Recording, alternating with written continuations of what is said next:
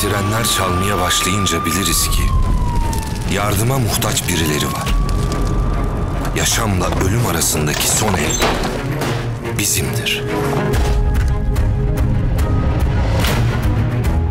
Herkesin kaçarak çıktığı yere sen koşarak gireceksin.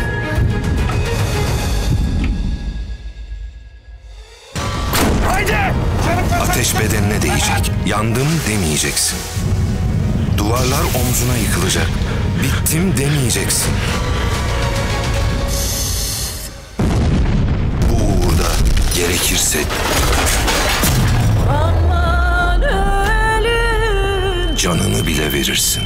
zalim